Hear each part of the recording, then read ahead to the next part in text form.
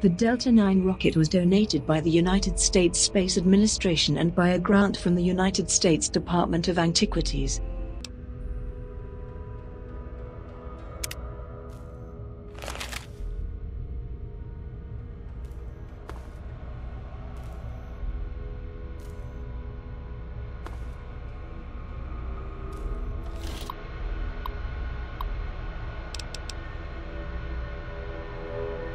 The Delta IX rocket, commissioned by the USSA in 2020, was the last of the manned rockets that sent our brave American astronauts to the moon. The Delta IX was in use for almost 15 years before being converted for military use and having the crew and instruments sections replaced with a nuclear warhead. The Delta IX recorded over 77 successful launches, making it one of the most successful rockets in U.S. history. The rocket, developed entirely by USSA scientists, was a single-stage vehicle with an ejectable cruise section or satellite storage day. The propulsion system was a nuclear electric derivative drive, using a massive electrical jolt to start the nuclear reaction on launch. The cruise section was protected from the radioactive chambers by way of a massive titanium vanadium disc. The spacecraft had the capability to sustain two astronauts for up to 24 days maximum. The longest recorded spaceflight in a Delta 9 rocket was the 17 days Soyuz 12 mission to the moon.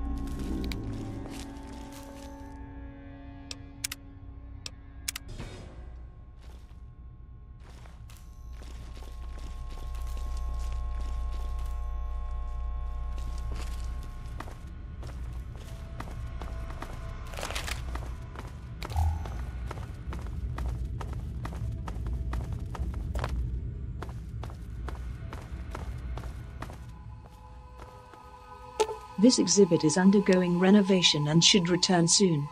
Thanks.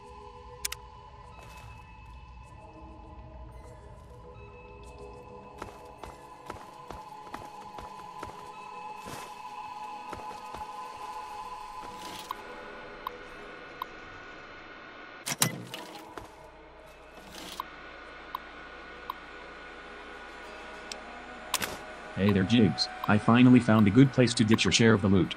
It was hell getting here, but I made it. I left the usual breadcrumbs all over some of the info terminals in this place, their computer security was a joke. Complete the sequence and you're home free, but make any mistakes and the system will lock you out. We'll meet up in the usual spot later. Good luck, Prime.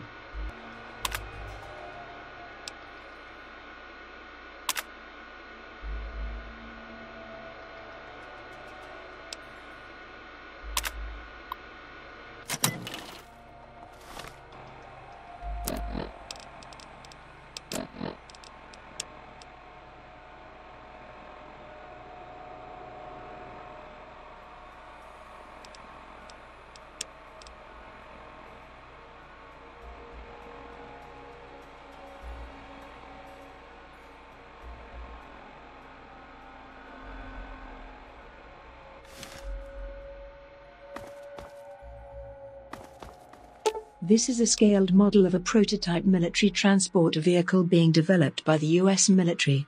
The XVBO-2 Vertibird is a VTOL, vertical takeoff and landing, craft with an extremely durable armored fuselage and can be armed with a variety of offensive weapons and defensive countermeasures.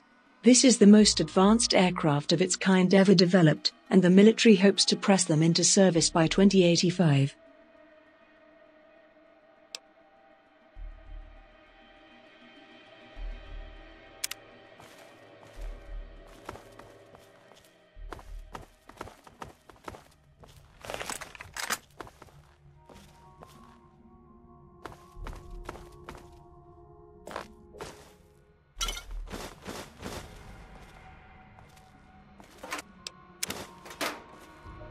Goddamn cigarettes are getting harder to find.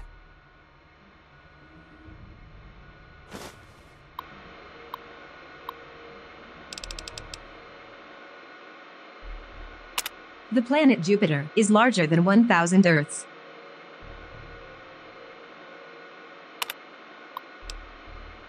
The outer layers of the Sun have what's known as differential rotation.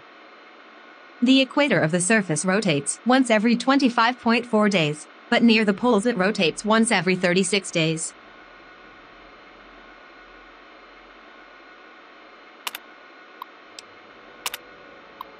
A neutron star is completely dense and solid matter.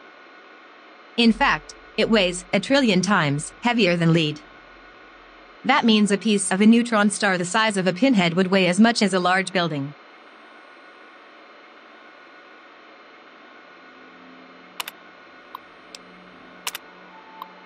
The sun loses almost 4 million tons of mass every second by turning hydrogen gas into energy. That adds up to almost 345 billion tons per day.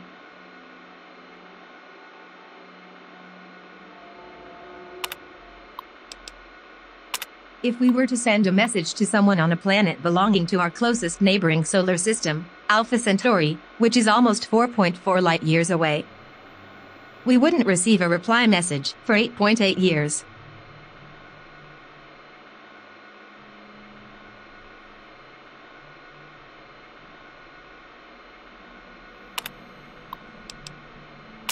There are about 175 billion galaxies in the observable universe, each with as few as 10 million stars up to giants with 1 trillion stars. All orbiting a common center of mass.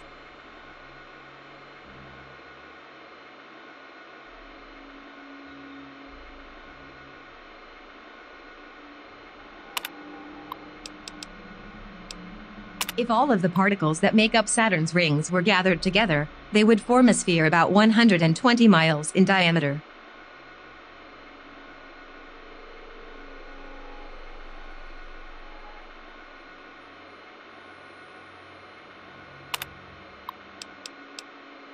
Olympus Mons, a volcano found on Mars, is the largest known volcano in the solar system. It is 370 miles, 595 kilometers, across and rises 15 miles, 24 kilometers. That's three times taller than Mount Everest.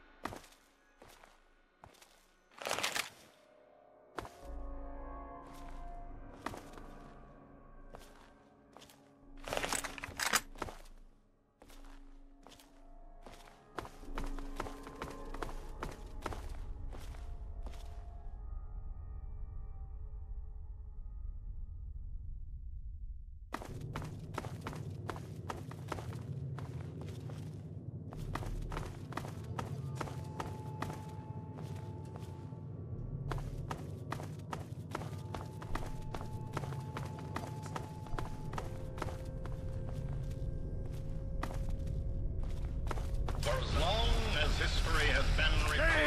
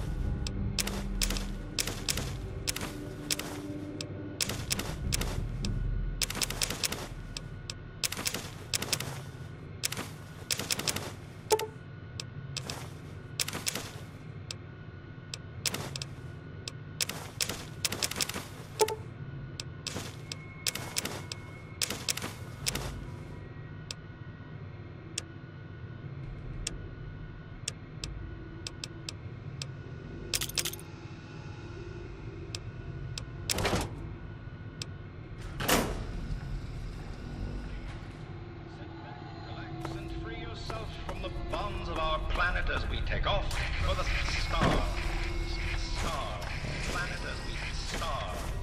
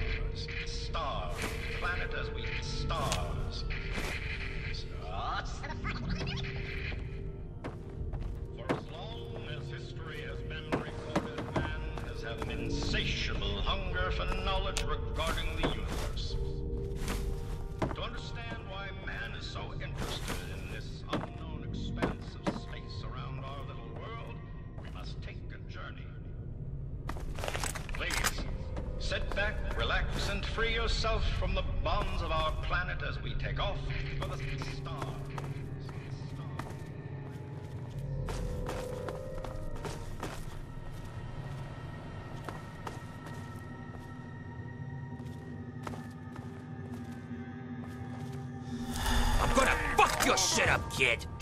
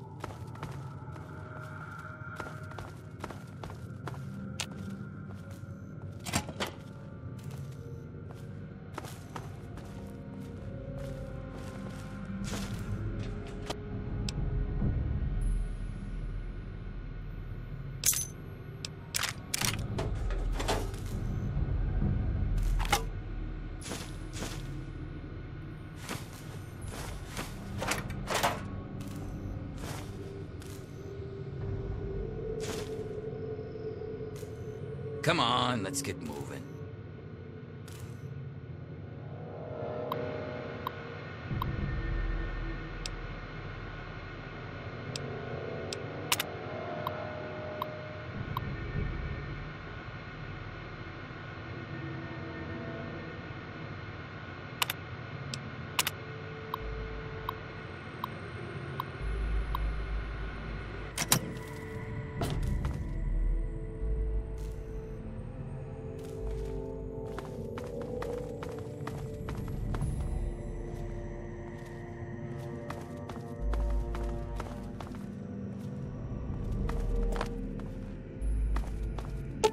On July 16, 1969, the Virgo 2 lunar lander Valiant 11 became the very first manned space vehicle to touch down on the Moon.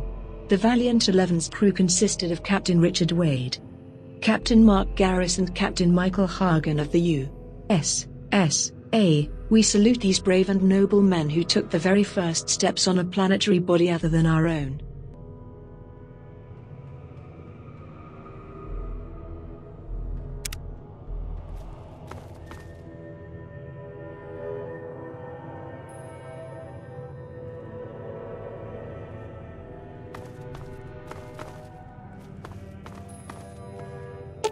The medals in this case were typically awarded to American pilots in World War II. From left to right, top row to bottom, Medal of Honor, Distinguished Service Cross, Silver Star, Distinguished Flying Cross, Navy Cross, Air Medal, Bronze Star, and the Purple Heart.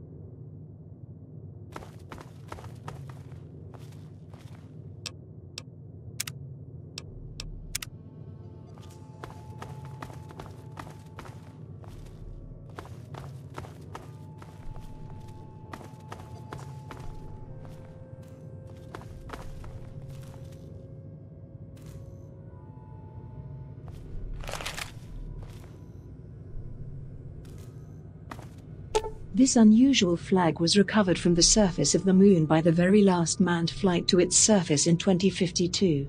The flag is from the old Valiant 12 Virgo 3 lunar lander that touched down November 14, 1969. Its remarkable condition can be attributed to its construction. The flag is actually made of special materials to withstand the harsh environment of space.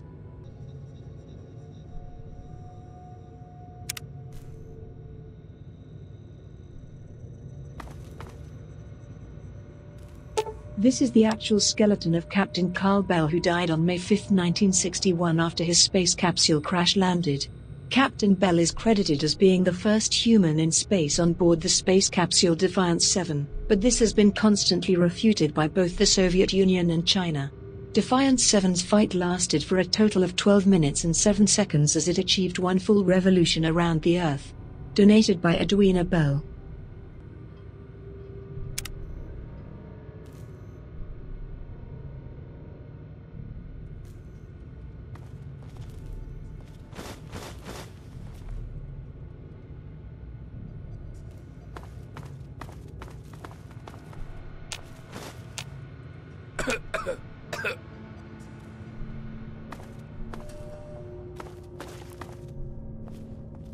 This is the actual U.S. S. A deep space suit worn by Captain Carl Bell on May 5, 1961.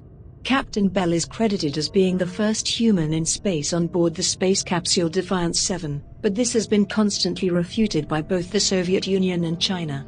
Defiance 7's flight lasted for a total of 12 minutes and 7 seconds as it achieved one full revolution around the Earth.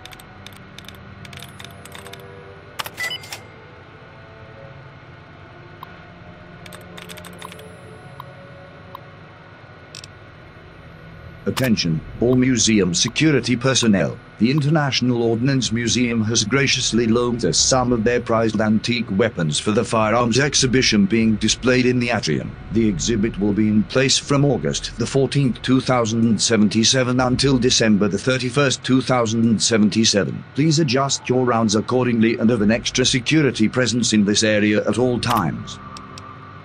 Attention, all museum security personnel. I'd like to request that all riot gear and security firearms be moved to the new gun locker in the Planetarium Research Office. Cabinet should remain locked at all times. The key to the cabinet must be carried by the duty shift supervisor and left in the security office safe when shift changes occur and at closing time. Donald Cohen, lead museum curator. Attention, all museum security personnel. The Museum of Technology annual gala dinner will be held in the atrium on November the 1st, 2077. We expect over 100 attendees including several local dignitaries and heads of state. Please set up security checkpoints and provide visible coverage for this event as per Security Mandate 99078B in your handbook. Donald Cohen, lead museum curator.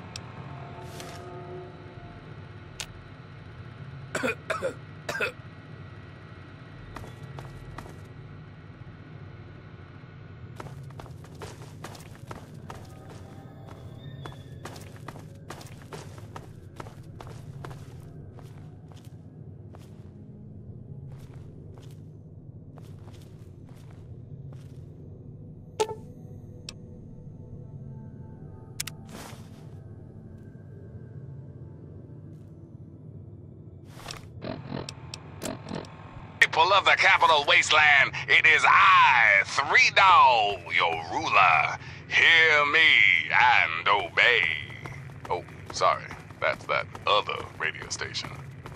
Here's the latest news. Unemployment is down, stocks are up, and the UN has just declared global peace forever. Now the real news. Ugh. Yeah, you guessed it. Time for another update on the villain of the wastes himself. That evil little bastard from Vault 101. Ooh, boy, children, you are going to love this. Okay, so I told you about James, the guy from the vault. And then I told you somebody else crawled out of I there too. to catch my breath. Right. Well, guess who came to visit old Three Dog at his luxurious studio in beautiful downtown DC? That's right, the other vault dweller. Now, you want to know if it gets better, don't you? Well, hell yes, it gets better. Turns out Vault Dweller number two was none other than James's kid. I know, I know, I couldn't make this shit up. Okay, but now it gets kind of sad. You see, the kid is looking for his dad. Looking for James. See, James left Vault 101 without telling the kid why. Now, I've since learned that James is a scientist and is working on something big. Is that why he left the vault? Looks that way. So who knows? Maybe James is going to save the world. Can't think of a better cause than that. But James, if you're listening, your kid's out, man, and he misses you. So you might want to find him before he gets swallowed up and spit out. And for all you other cats out there listening, if you see the kid from Vault 101 out there, give him a pound on the back and wish him luck. Until next time, this is Three Dog, and you're listening to Galaxy News Radio, bringing you the truth, no matter how bad it hurts. Now, some music.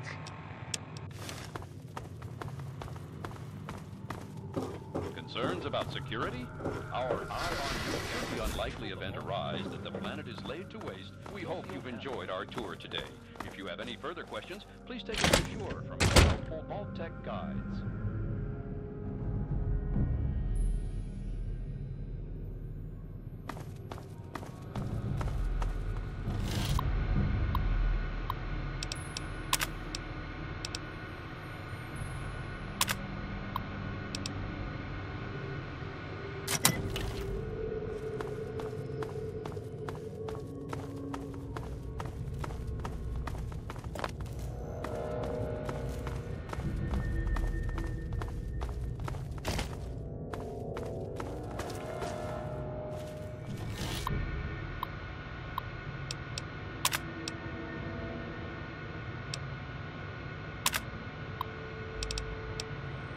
Nice job, Jigs. I knew you'd remember the good old days. The loot is in the security office safe in the upper part of the west wing. Use the terminal up there to get in. Enjoy your share, pal you earned it. Meet me in the old diner outside the Jury Street metro station. See you there. Good luck, Prime.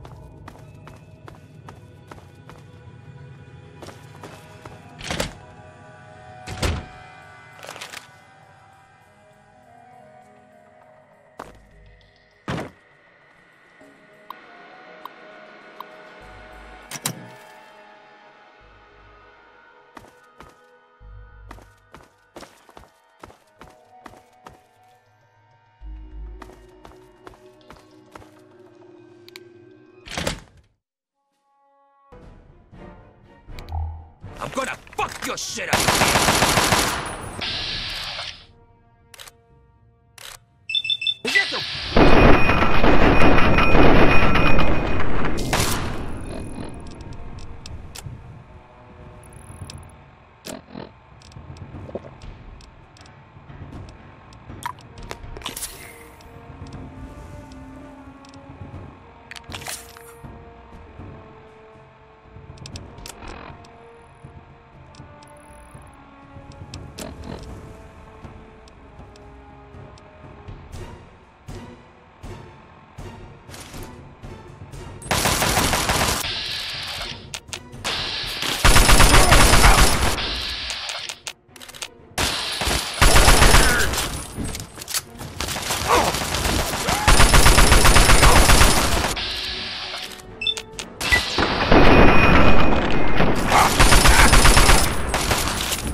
Ah!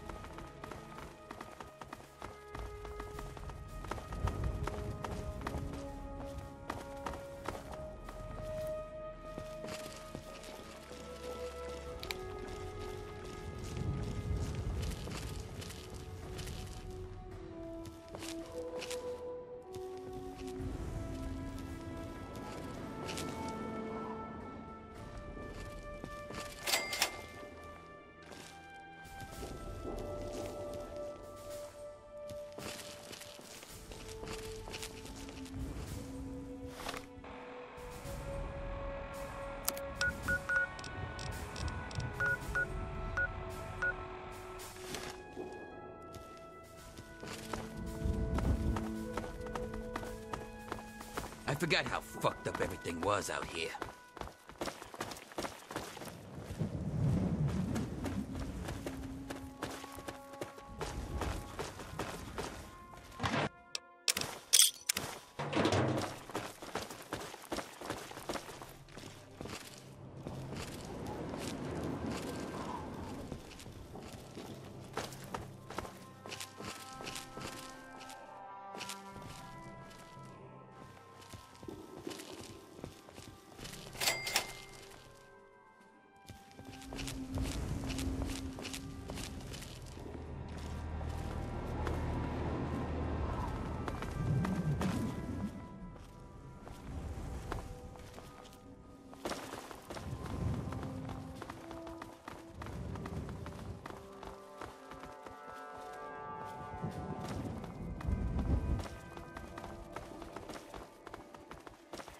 Hey, I found a... Damn it. Never mind, it wasn't anything.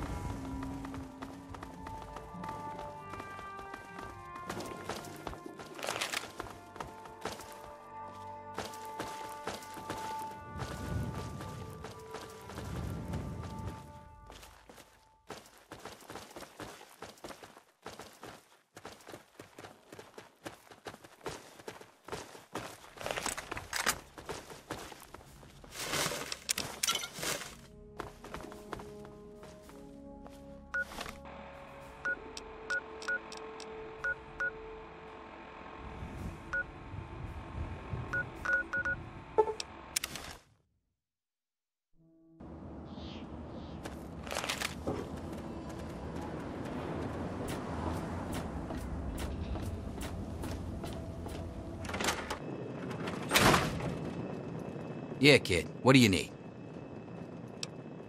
Sure. Give me whatever you got.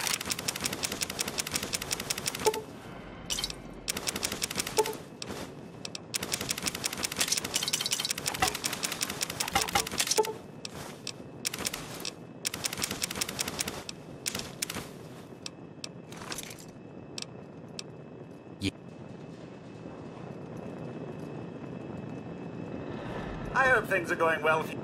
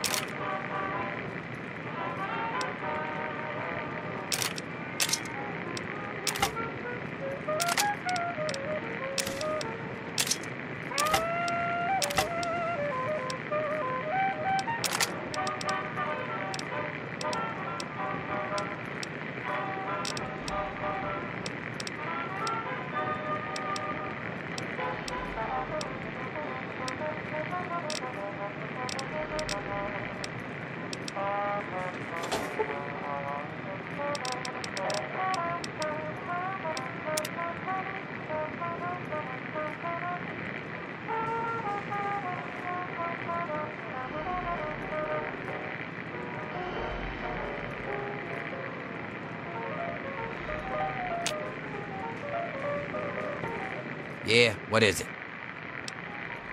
Sure, give me whatever you got.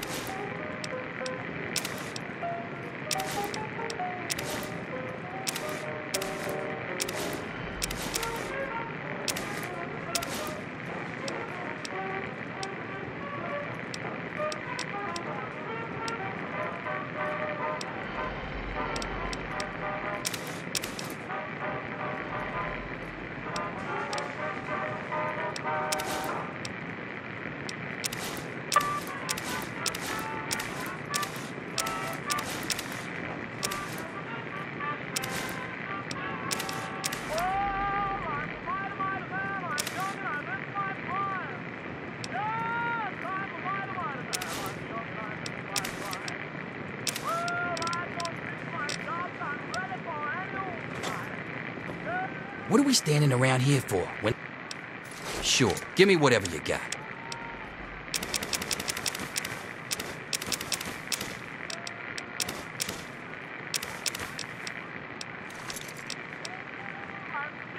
I hope things are going well with you today, sir.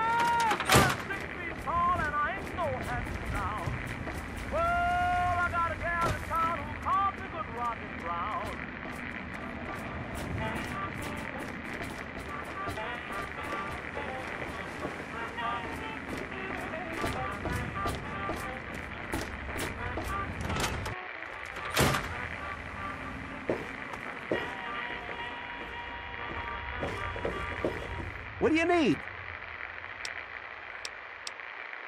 I sure am, Sonny. What have you got for me? Well, all right.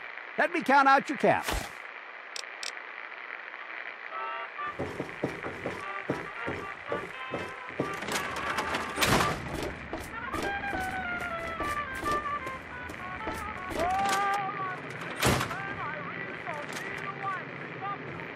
What are we standing around here for? Sure, give me whatever you got.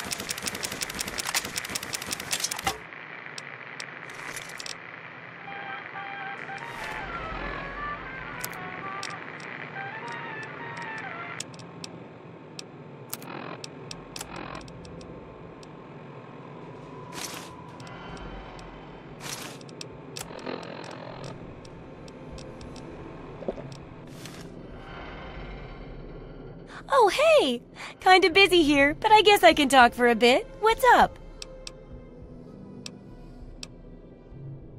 If you've got the caps, I've got the skill.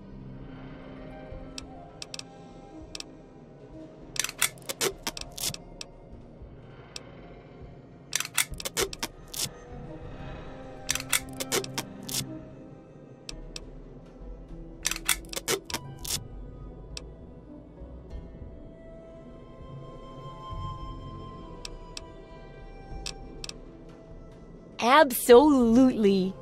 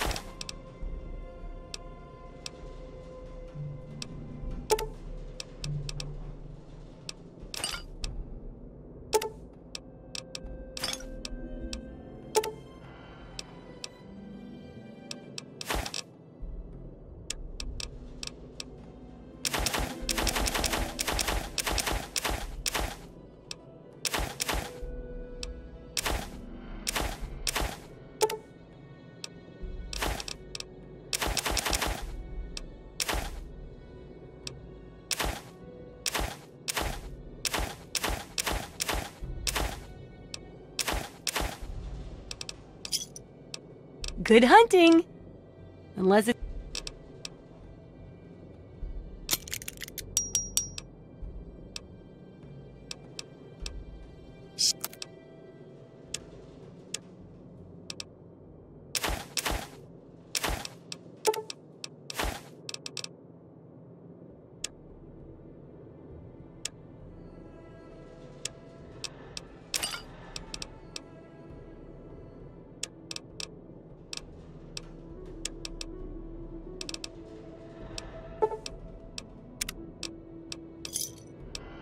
Good hunting!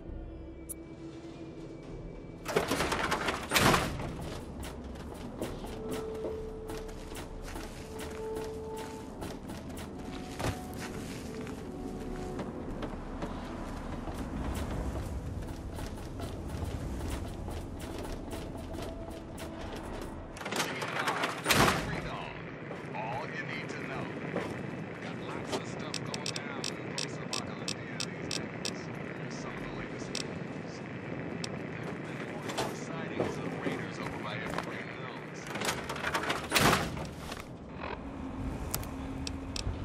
Keep that in mind the next time you feel like nosing around that neighborhood. Until next time, this is Three Dog. And you're listening to Galaxy News Radio, bringing you the truth, no matter how bad it hurts. And now, a super important public service announcement. Just a friendly reminder to all you would be bigots out there ghouls are people too. You see, children, ghouls are simply humans who've been exposed to an ungodly amount of radiation and haven't had the good fortune to die. Sure, they may look like hideous zombies from an old monster flick, but their hearts, their souls, their tears are all very much human. So please, if you meet one of the Capital Wasteland's many ghouls, leave your prejudice at the door and your pistol in its holster. Ah, yes, one important caveat, kiddies. Those feral ghouls that prefer the dark, dank underground, they are basically mindless zombies, so kill as many as you damn well please. And now, some music.